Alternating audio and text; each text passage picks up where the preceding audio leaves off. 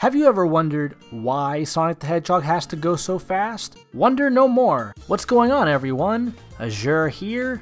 Thanks to Green Hill Paradise Act 2, now you can finally experience firsthand what it's truly like to go as fast as Sonic the Hedgehog. Remember to check down below in the description box to follow the link to try this fan game out yourself.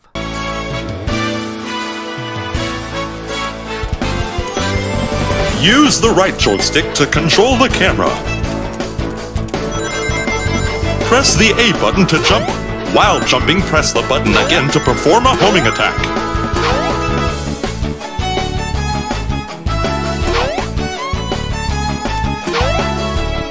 Press the B button to perform a spin attack. Press the button again to uncurl and continue running. Knowing when to roll and when to run is compulsory to maintaining your speed.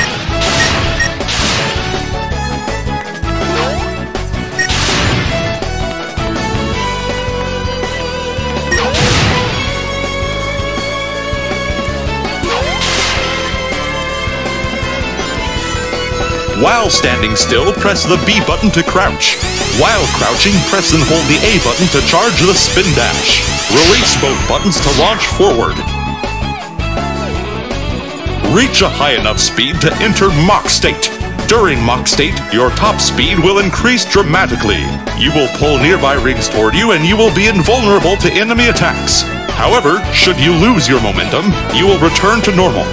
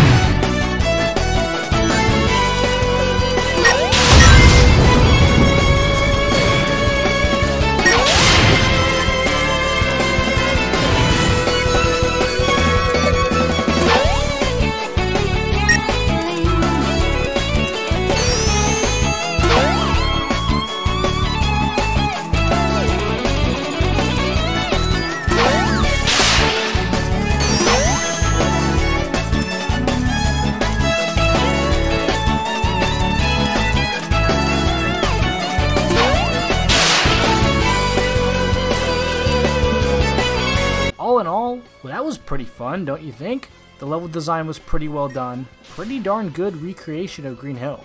Let's see, the enemy design is also spot on. The music is also really good and catchy.